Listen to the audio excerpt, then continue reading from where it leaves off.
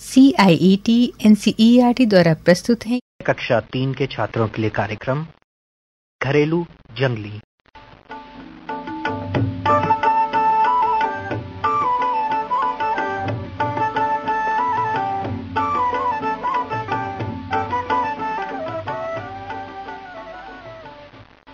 दोस्तों एक गाँव में एक किसान रहता था। उसके पास कई घरेलू जानवर थे। बैल थे हल चलाने के लिए। गाय और भैंस थी दूध देने के लिए। और एक कुत्ता भी था जो किसान के खेत की और घर की रखवाली करता था। उसने एक मोटी सी बिल्ली भी पाल रखी थी। जानते हो क्यों? हाँ घर के चूहों को खा जाने के लिए। दोस्तों, उसके पास एक घरेलू जानवर और भी था। ऊँट। उसका नाम था गुलगुल। हाँ गुलगुल। किसान बड़ी शान से गुलगुल पर सवारी करता था। गाँव के पास ही घना जंगल था। उसमें बहुत से जंगली जानवर रहते थे। खूंखार, शेर, चीते लकड़बग्गे भालू, भेड़िए। तेज भागने वाले हिरन, बारह सिंगे, खरगोश, भारी भरकम हाथी और गेंडे भी थे। पेड़ों पर रहते थे गिद्ध, बाज, चील इसी जंगल में रहते थे चालाक लोमड़ी और गीदड़। वे कभी कभी गाँव में भी आ जाते। खरबूजा, तरबूज, गन्ने, गुड़ या किसी मरे हुए घरेलू पशु का मांस खाने के लिए।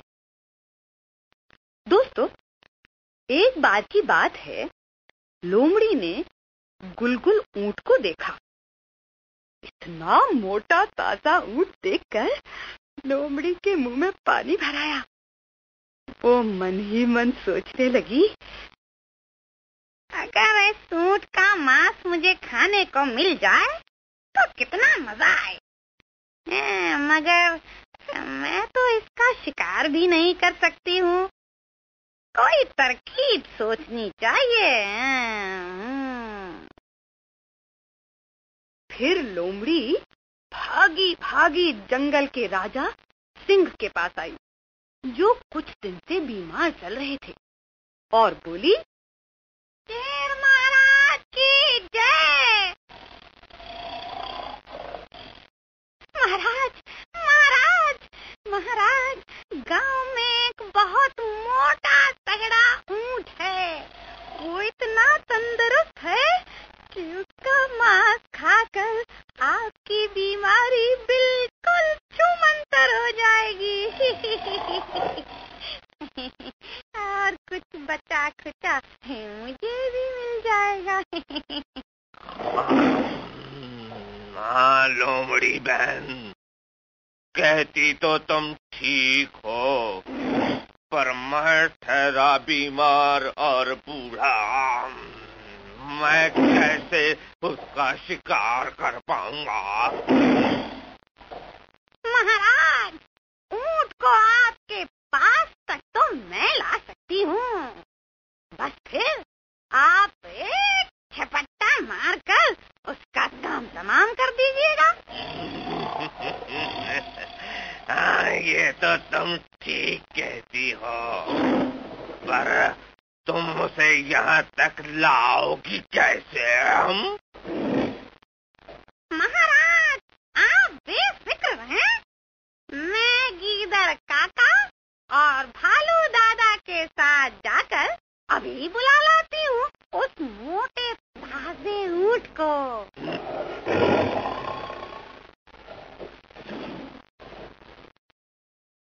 दोस्तों गीदड़ लोमड़ी और भालू तीनों जंगली जानवर पहुँचे ऊँट के पास।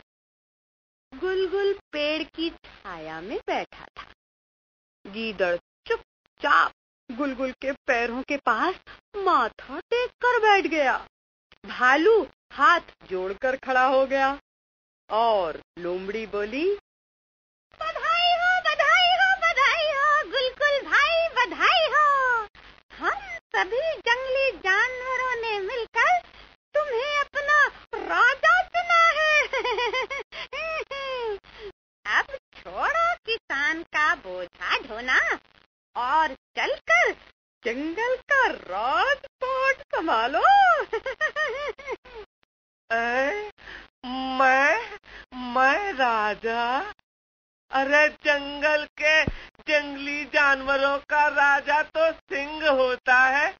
मैं तो एक घरेलू जानवर हूँ। हाँ हाँ हाँ भैया गुलगुल। तुम सीधे सादे घरेलू जानवर हो। अरे तभी तो हम सबने तुम्हें अपना राजा चुना है क्योंकि तुम हम जंगली जानवरों को कभी सताओगे नहीं और फिर अरे तुम इतने लंबे तगड़े हो सुंदर हो हाँ, हाँ हूँ तो मैं सुंदर ही मगर तुम्हारा राजा सिंह। वाह गुलगुल भाई, तुमने क्या बात कही?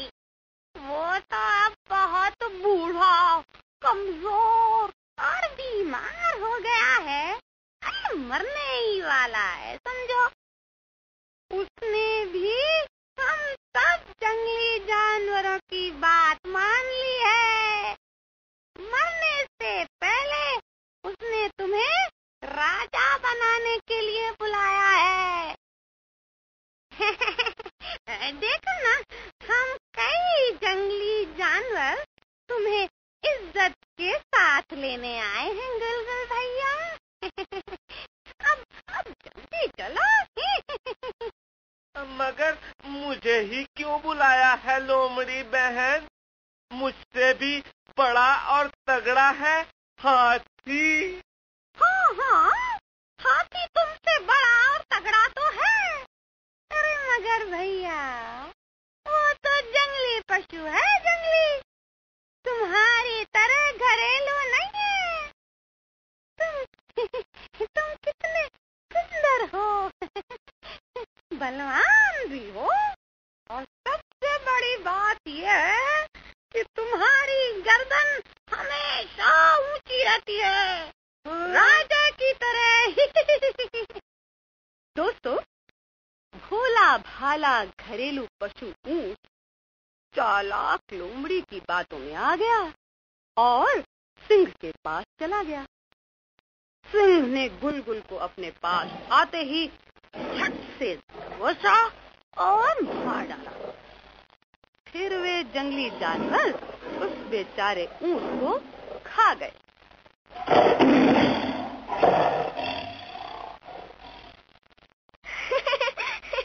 बाबा बड़ी मज़ेदार थी कहानी गुलगुल की। हाँ और तुमने देखा? इस कहानी में दो तरह के पशु थे जंगली पशु और घरेलू पशु। जो पशु गाँवों, शहरों, घरों और बस्तियों में या उनके आसपास रहते हैं, उन्हें घरेलू कहते हैं। गुलगुल ऊँट घरेलू पशु था। गाँव में किसान के पास रहता था। इसी तरह और भी बहुत से घरेलू पशु हैं, जैसे गाय, भैंस, बकरी, भेड़, ये दूध देने वाले घरेलू पशु हैं। बैल, घोड़ा, भैंसा, खच्चर, ये भी घरेलू पशु हैं। ये गाड़ी खींचते हैं, बोझा ढोते हैं। और हाँ बोझा ढोने वाला एक घरेलू पशु और भी है। बहुत भोला भाला, सीधा साधा। जानते हो क्या नाम है उसका? सोचो सोचो। याद आया? हाँ गधा। हाँ गधा। इसे ढेंचू राम भी कहते हैं। जब ये रेंकता है तो कैसे बोलता है? हाँ बताओ। ढेचू ढेंचू ढेंचू गधा रेंकता ढेंचू ढेंचू बोझा ला दो झटपट खेचू। बोलो बोलो बोलो। गधा रेंकता ढेचू ढेचू। बोझा ला दो। झटपट खेचू तो भाई घरों में रहने वाला ये पशु भी कैसा पशु है? हाँ हाँ घरेलू पशु। हाँ इसी तरह दूसरे घरेलू जानवरों के नाम बताओ। हाँ हाँ बोलो बोलो। चूहा बंदर। बिल्ली कुत्ता। ये सब तो हुए घरेलू पशु। इसी तरह कुछ पक्षी भी घरेलू होते हैं, जैसे कौआ कबूतर, गौरैया। ये पक्षी हमारे घरों की मुंडेर पर, छतों पर या गाँव में आसपास के पेड़ों पर बैठे रहते हैं। घर के आँगन में आकर भी बैठ जाते हैं। हम इनको कैसे पक्षी कहते हैं? बताओ। हाँ हाँ वही। घरेलू। हाँ और जो पशु पक्षी जंगल में रहते हैं वे हैं जंगली। जैसे? शेर गीदड़ लोमड़ी भालू बाज गिद्ध। हाँ तो भाई एक जंगली जानवर और है। वो है तो जंगली मगर हम उसे अक्सर अपने गाँव या बस्ती में देख लेते हैं हाथी नहीं नहीं नहीं ये तो घरेलू है हाँ, अरे नहीं भाई ये जंगली है। आ, हाथी और लंगूर भी जंगली हैं। ये कभी कभी बस्तियों में दिखाई तो देते हैं मगर इनका असली घर तो जंगल है। हाथी जंगल में ही रहते हैं झुंड बनाकर। पशु पक्षी सारे उपयोगी और प्यारे। हम्म, छत मुंडेर पर बैठे कौआ तोता चिड़िया रानी उड़न कबूतर करे गुटर गुम मैना कहे कहानी। घर में घोड़ा गाय भैंस खाते हैं दाना पानी। बंदर कुत्ता बिल्ली बछड़ा करे अजब शैतानी। है ये सभी घरेलू रहते निश्चिंत पास हमारे। पशु पक्षी सारे उपयोगी और प्यारे। हम्म, जंगली और खूंखार है भालू बाघ सिंह और चीते। चालाकी में सियार लोमड़ी से नहीं कोई जीते। गेंदे बड़े लड़ाके हाथी सूंड से पानी पीते। इसी तरह के पशुओं का जीवन जंगल में बीते। गिद्ध तील भी जंगली उड़ते नभ में पंख पसारे। पशु पक्षी सारे उपयोगी और प्यारे। हाँ,